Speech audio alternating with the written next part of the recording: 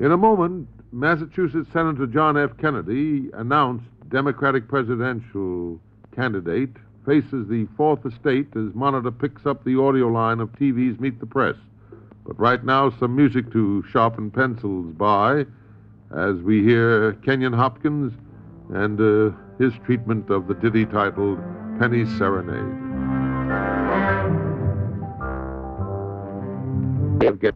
Now, here's the moderator, press, Ned. Welcome once again to Meet the Press. And now seated around the press table, ready to interview Senator Kennedy, are Richard Wilson of the Cowles Publications, John Steele of Time and Life magazines, James Reston of the New York Times, and Lawrence E. Spivak, our regular member of the Meet the Press panel. Now, Senator Kennedy, if you're ready, we'll start the questions with Mr. Spivak. Senator, in the announcement of your candidacy yesterday, you said this I believe that the Democratic Party has an historic function to perform in the winning of the 1960 elections comparable to its role in 1932. Could you tell us more precisely what you mean by that? Well, I think that the election of 32 was extremely essential because it, uh, I think, helped save the private enterprise system in this country, and I think also it contributed to the saving of uh, democracy. Now, I think in the 1960s, the issue is not democracy here at home or the private enterprise system, but I think it is around the world.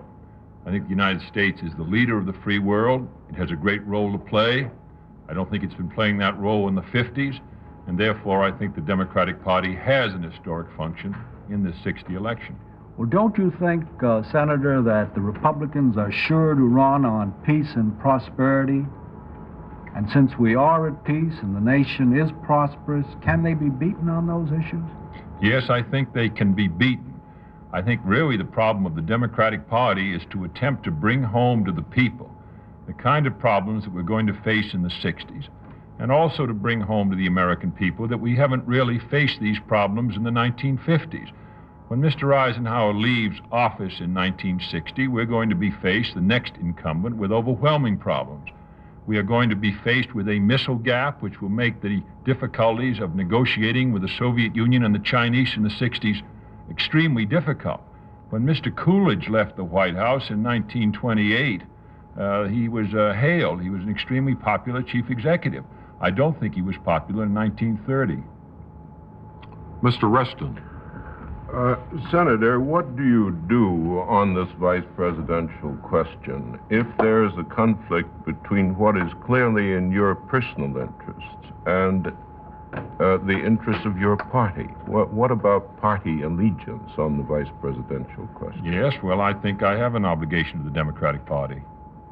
Well, what do you do if it is the judgment of your party uh, that you should accept the vice presidency? Well, I'm not going to accept the vice presidential nomination. I shall support the Democratic ticket. I'll work hard for it. Uh, but uh, looking at the hi- history of the last 60 years, I don't recall a single case where a vice presidential candidate contributed an electoral vote. I think Dewey lost California in 1948 with Mr. Warren at the height of his popularity as vice president. I know Wendell Willkie lost Oregon in, in uh, 1940 with uh, Charles McNary, the most popular political figure in the history of Oregon. A vice presidential candidate does not contribute. People vote for the presidential candidates on both sides. That's what's going to happen in 1960. They presume that the, the presidential candidate is going to have a normal life expectancy. They don't say, we don't like the presidential candidate, but we'll vote for the vice presidential candidate. If I can contribute the kind of strength that you might suggest by that question, possibly, I think that perhaps I should be nominated.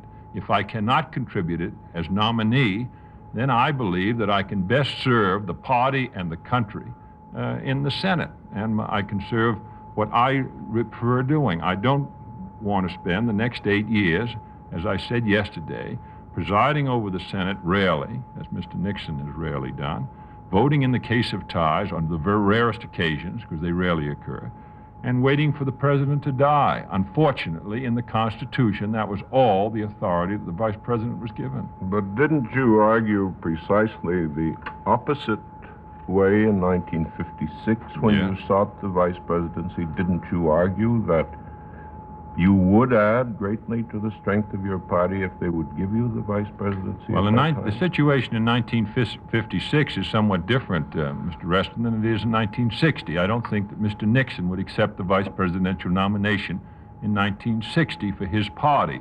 I haven't heard it suggested that Mr. Johnson, Mr. Humphrey, uh, Mr. Symington uh, accept the vice presidential nomination. I think they'd all make it quite clear that they would not. Now, uh, I'm making it clear that I will not.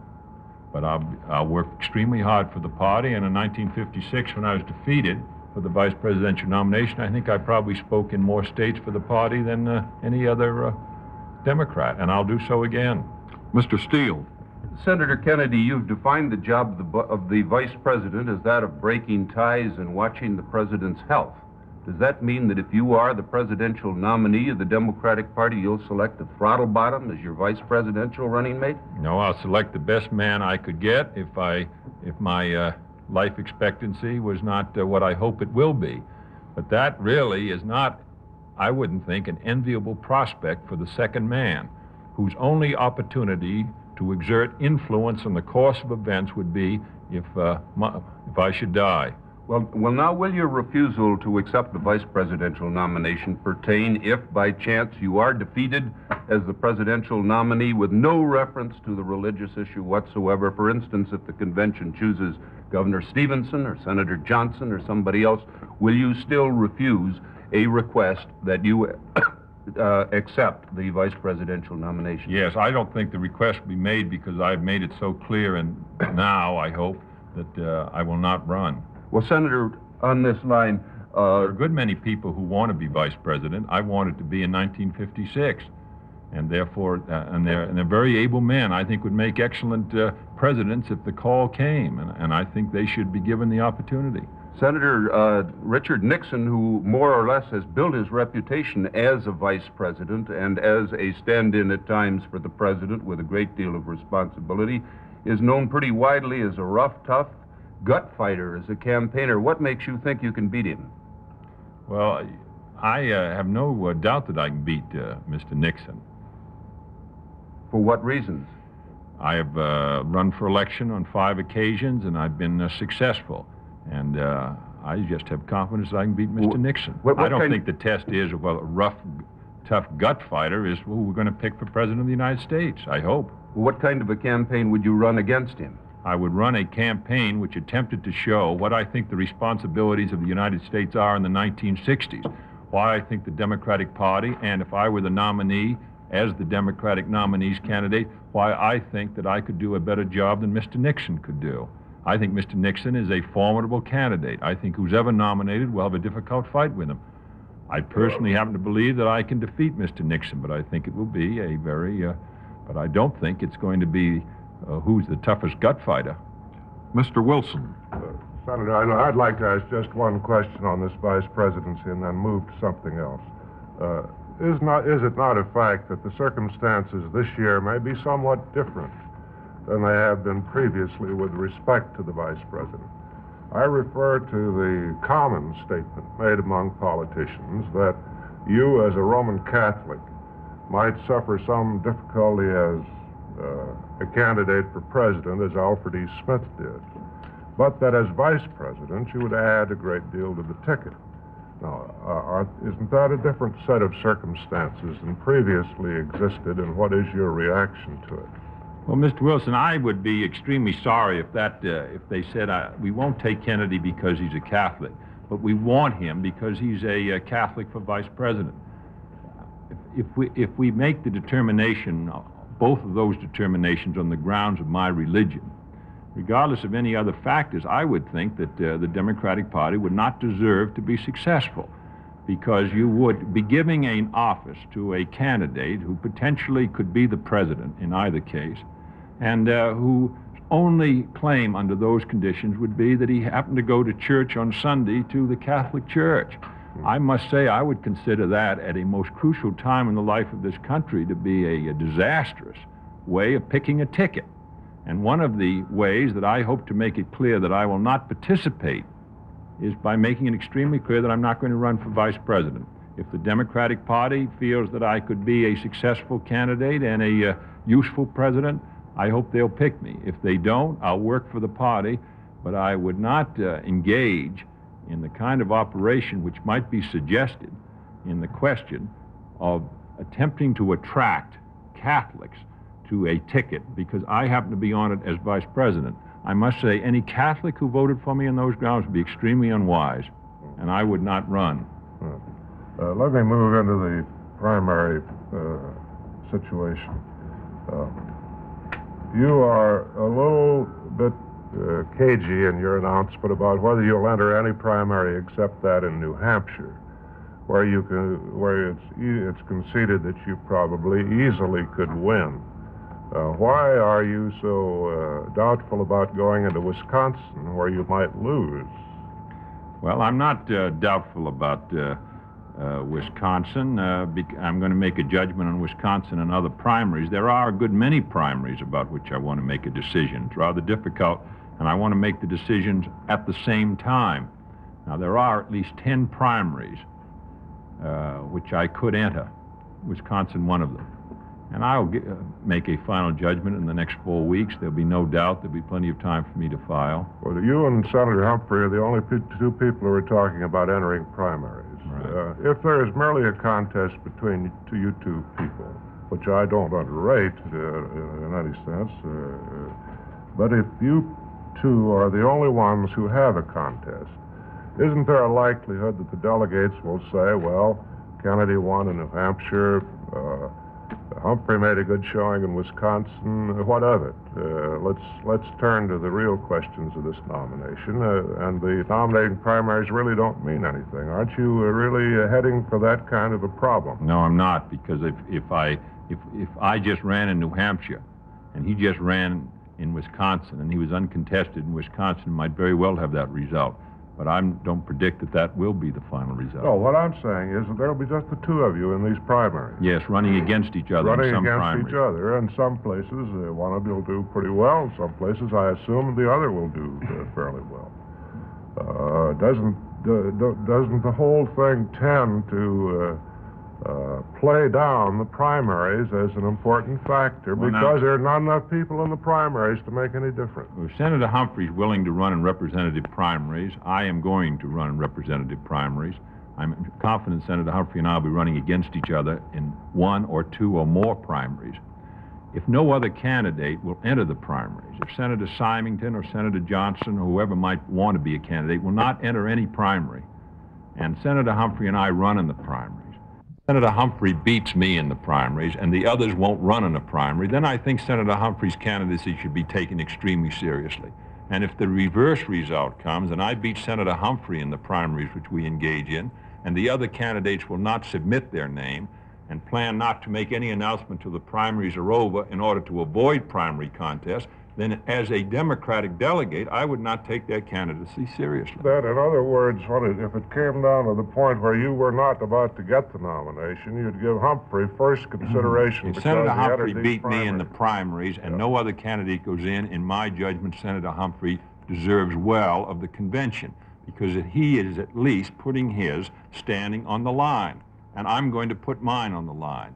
Now, some candidate who will not face us in primaries and then uh, hopes to uh, be the choice of, if he can't beat us, he can't beat Mr. Nixon in November. Then you might throw your support to Humphrey in that case. I would think that if Senator Humphrey's prepared to win, that he should receive a good deal of recognition because if he poli- beats me and no one else will run against him, I would say he would certainly be on the ticket. Mr. Spivak. Senator That is Kennedy, not the result I predict. Senator, Senator Kennedy, is there any reason why you might not enter uh, the Wisconsin primary?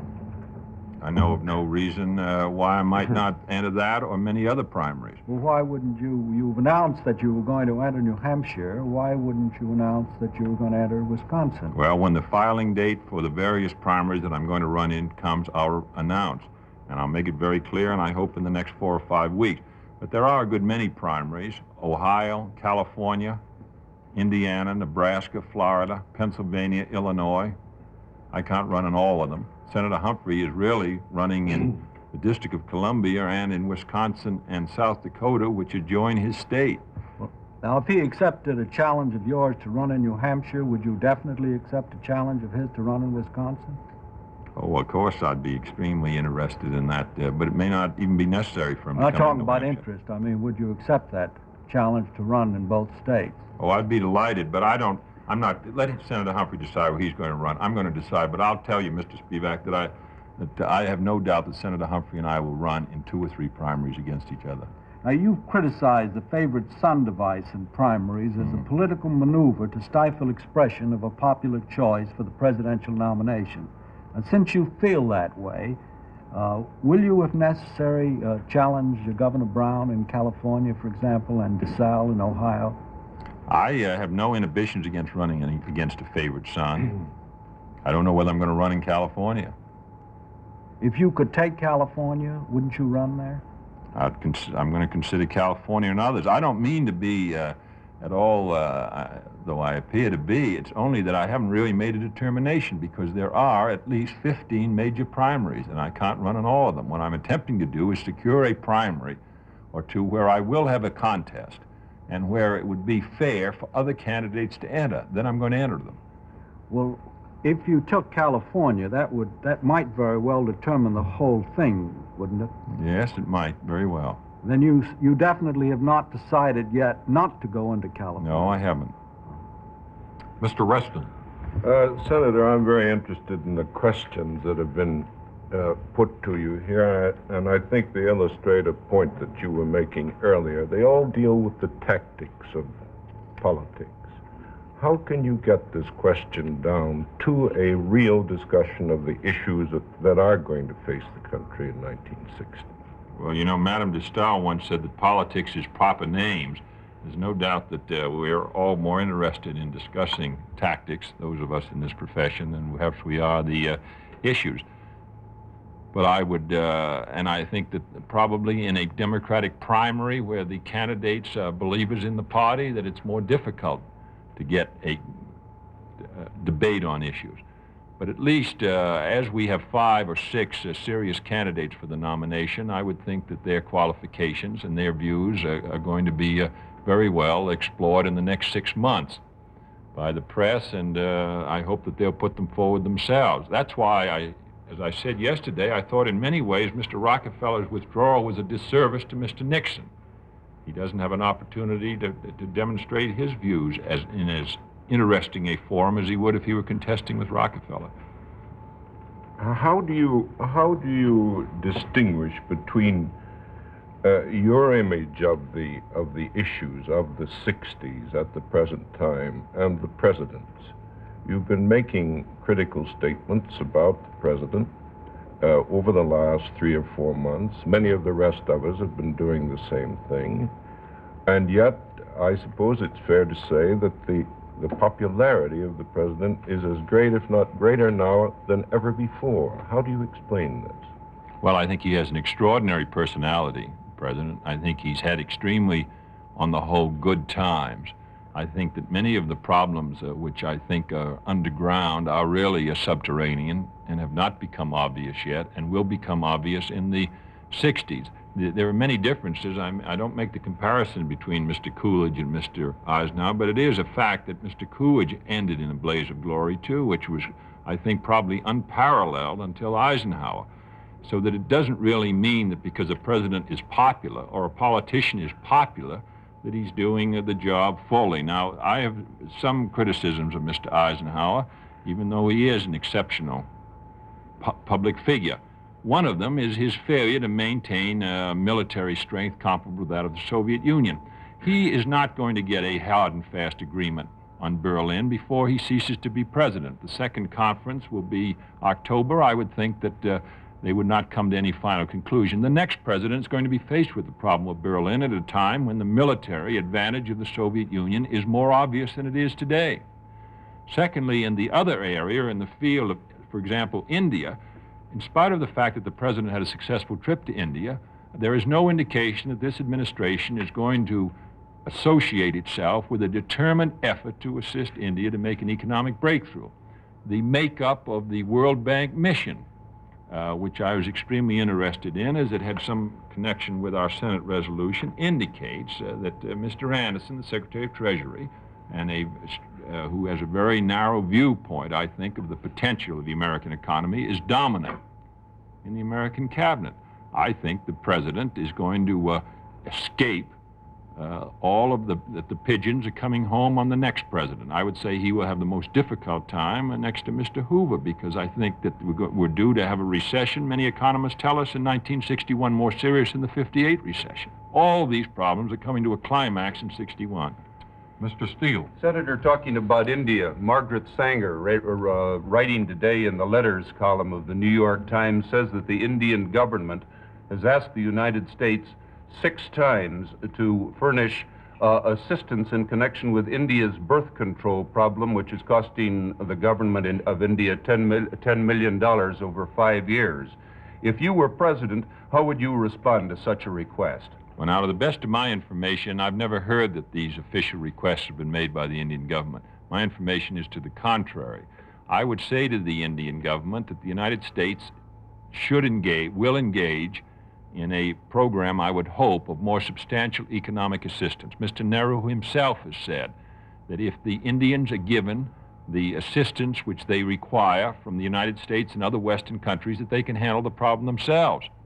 Therefore, it seems to me that rather than attempt to associate this with a foreign aid bill, which has a very difficult time in the Congress anyway, which has many opponents, you will get neither birth control, I would say to Ms. Sanger, nor foreign aid if you attempt to try to put a bill through the Congress with this proviso written into it. I would think the solution for the Margaret Sanger and others would be to support a strong foreign aid bill and let those countries then make their own judgment. And I would say that also to the opponents of Ms. Sanger that they are morally committed to support such a program too. Senator, uh, you raised this issue yourself at Beloit College some months ago when you said that the Indian population growth threatened to outstride its economic development. It does. Uh, uh, uh, therefore, uh, supposing the Indian government did ask for this assistance, what, what would your answer be? What I would, would think that, I hope I've given the answer. I think that the best solution is for the United States to give the Indians substantial economic assistance.